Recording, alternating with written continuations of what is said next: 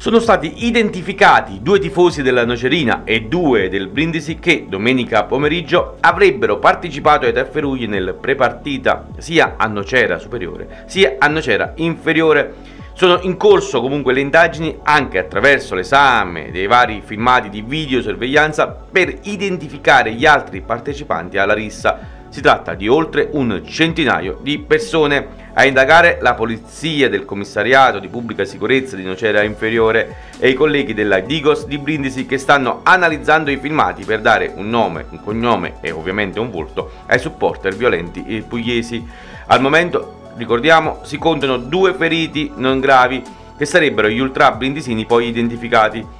La conta dei danni dopo la guerriglia di domenica è di 6 vetture dei supporter pugliesi danneggiate e un'auto parcheggiata di un residente di Nocera superiore. Secondo quanto ricostruito finora, una decina di auto e un minivan con i tifosi brindisini, dopo essere usciti dalla 30 a Mercato San Severino non hanno seguito il percorso prestabilito dalle forze dell'ordine, arrivati a Nocera Superiore invece di avviarsi per via nazionale e via Firenze, per poi giungere allo stadio, si sono diretti per il centro di Porta Romana. Alcuni avevano anche mazze e altri corpi contundenti quando sono giunti in via Porta Romana sono scoppiati i primi tarferugli da stabilire chi abbia iniziato per primo tra le due tifoserie. Comunque le indagini proseguono.